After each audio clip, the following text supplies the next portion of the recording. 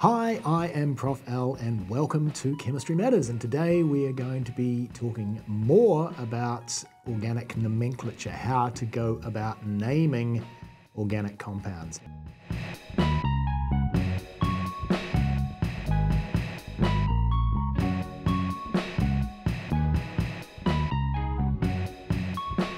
we are going to talk about how to name more complicated uh, organic molecules. So, why don't we uh, just pick up where we left off, I guess, last time, and uh, just very quickly see how well you did um, in learning how to name alkanes. So, how would we go about naming this puppy here? Remember, very importantly, you look for the longest carbon chain first. That's always the first thing you do. You've got a variety of possibilities here by the look of it. What do we got? One, two, three, four, five, six, seven, eight that way. We've got one, two, three, four, five, six, seven, eight that way. We've got one, two, three, four, five, six, seven, eight, nine that way. And in fact, nine takes it. We go back to our counting to 10 in chemistry. We remember that uh, the prefix for 9 is non. And we look at the molecule and we say, right, uh, there are only carbon and hydrogen single bonds here, or single bonds involving carbon-carbon and carbon-hydrogen. So therefore, it is going to have the suffix ane, non-ane. And then we look for the substituents and we look for the numbering of the substituents, okay? So what have we got in terms of these? Well, we've found out that uh, nine is our longest. So let's go one, two, three, four, five, six, seven, eight, nine for the carbon chain there. One, two, three, four, five, six, seven, eight, nine. Or we could put nine here, but it makes no difference as we saw in the last uh, episode. Likewise, we could put number one in red here and it still makes no difference. Okay. So what do we got? Uh, let's look at our substituents. So uh, what have we got? We've got a methyl here, we've got an ethyl here, we've got a methyl, and we've got a methyl. So the what we need to do is to give them the lowest uh, cumulative numbers in this case, okay? So what have we got? If we number in red, we're going to have a 2, a 3, a 6 and a 7. If we number in black, we're going to have a 3 and a 4 and a 7 and an 8. You can see hopefully that a 2 and a 3 and a 6 and a 7 beat a 3 and a 4 and a 7 and an 8. So we're going to use the red numbering. And one last little rule here is that when we have got a mixture of substituents, as we do here, we go in alphabetical order okay? So alphabetically, ethyl beats methyl, so ethyl is going to come first. Ethyl is at uh, carbon 6, so we're going to go 6 ethyl. And then we've got all of these methyl groups. We've got 2, and we've got 3, and we've got 7. So therefore, we are going to go 2, comma 3, comma 7, hyphen, tri, and we're going to run out of room, trimethyl just, nonane. So in this case, 6-ethyl-2,3,7-trimethyl-nonane is going to be the name for that particular alkane. Okay. And you can go on and on and on with these, but we're going to get into more general um, naming now because obviously this is strictly only applicable at the moment to alkanes. So let's start off and look at some uh, more complex organic molecules. And let's find out that I haven't been telling you the whole truth to begin with. Because organic molecules are not named only as a prefix and a suffix. We have a prefix, we have a suffix, and we have an infix. Now, hands up those of you who, who have ever heard of the word infix. Well, that's what we have in chemistry, okay? So, um, so there's three parts to organic names, essentially. And the reason that we said there were only two was because we were only looking at alkanes there, and we will see how in fact, there's three parts to an alkane name as well, okay? So the prefix uh, signifies the number of carbon atoms in the longest chain. Okay, we've already seen that. So the prefix is your meth or your but or your non or your hex or whatever. Okay. Um, now, the infix is uh, determined by the type of bonding in the molecule. Now, with alkanes, we said that we only had single bonds everywhere in the molecule, only single bonds. Now, if that's the case, and we've only got single bonds, then the infix is AN. Okay, so that is only single. If we have got double bonds, then the infix becomes EN for double. And if we've got triple bonds in the longest carbon chain, that is, in the longest carbon chain, then we have the infix YN.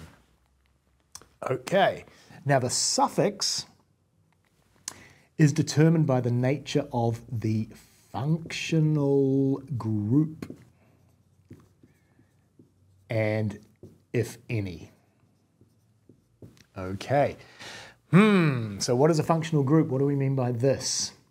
Okay, um, let's have a look at that now. So this is important stuff. The prefix we're happy with. The infix we can pretty much figure out just by looking at the types of bonding in the longest carbon chain. The suffix, a little bit more involved, and so therefore let's discuss that now and look at what we mean by a functional group. Right. So the molecules that we've been looking at so far have only contained carbon and hydrogen in terms of naming. So let's have a look at a molecule that contains more than that. And here is the line structure of that molecule. Now, those of you who know a little bit of chemistry might um, recognize this as being ethanol, okay? Um, and what, what's our chemical formula here? Our chemical formula, C2H5OH. Now, first thing, notice that I wrote C2H5OH rather than C2H6O because this gives us some information that this doesn't. The information that we get here is that we've got an OH functional group here. now, even though that is the uh, molecular formula, doesn't tell us anything about the um, functional group. So that's a little thing that you might notice um, in your textbooks, in these uh, videos, etc., etc. So C2H5OH. Um, so how do we go about naming this? Well, again, first up, you're looking for the longest carbon chain. Longest carbon chain, this is pretty straightforward. We've got one, we've got two. So therefore, our prefix for this molecule is going to be the prefix corresponding to a two carbon chain, and that is going to be eth. Now, the infix, the next part. So that's the prefix, the infix. Now, remember that says, right, you look at your longest carbon chain. If it's only single bonds, the infix is AN. If, if you've got a double bond in there or more, the infix is EN. If you've got a triple bond or more in there, then the infix is YN. In this case, we're quite happy, single bonds all the way, so it's going to be F an prefix, infix, and now we want the suffix. And the suffix belongs or is determined by the functional group. Now, what the heck is a functional group? A functional group is a group of atoms that are contained in um, different molecules, but you always have that same particular group of atoms in a whole bunch of different molecules. Not brilliantly explained, but let's go with it. For example, this group of atoms here in ethanol, OH. We find the OH group in a whole vast, vast, vast number of molecules. Yeah, so what? That's, that's probably what you might expect. But the beauty in organic chemistry is that uh, it's very, very systematic. organic chemistry. What you find is that molecules that contain the same functional group tend to react the same. And that makes organic chemistry a hell of a lot easier because it means that you don't have to remember a thousand, a million, a billion reactions. You only have to remember a few because you know that every molecule that contains an OH group is going to react very similarly. Okay? So we call those certain combinations of atoms that tend to crop up quite a lot, we call them a functional group. Now this particular functional group we call an alcohol. Okay? And the thing about alcohol functional groups is that they are that, essentially. An alcohol functional group is an OH group.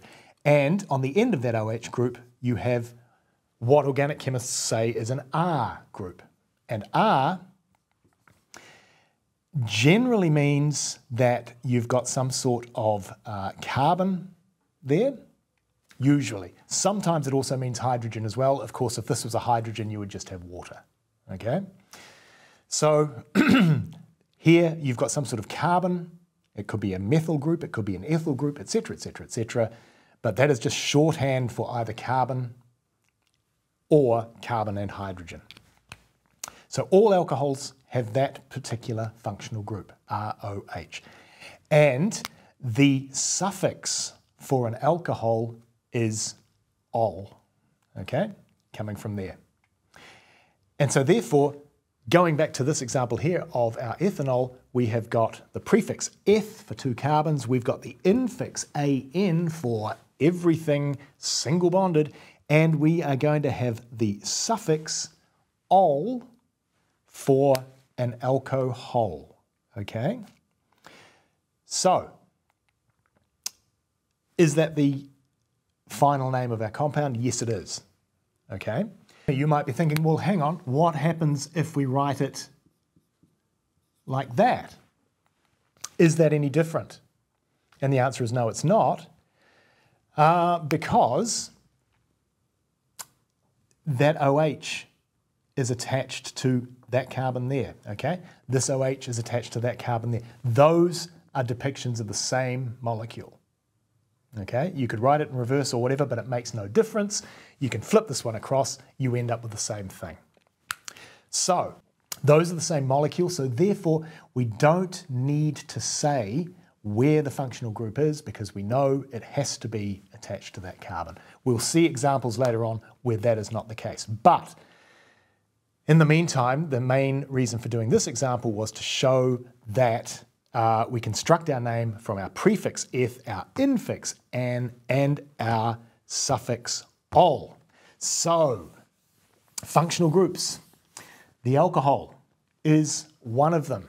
Okay, what are some others? Okay, so uh, let's have a look at uh, particular types of organic compounds because particular types of organic compounds contain particular functional groups. So we've already seen, whoops, that alcohols, or just let's say an alcohol, will contain the OH functional group and the suffix for that is ol okay?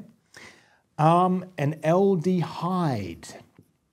Now, you may or may not have come across these before, but these are, again, stuff that you have to learn, okay? This is stuff that needs to be up here for exams and things like that. So, an aldehyde contains this particular grouping of atoms, where R could be, uh, in this case, H or C, okay?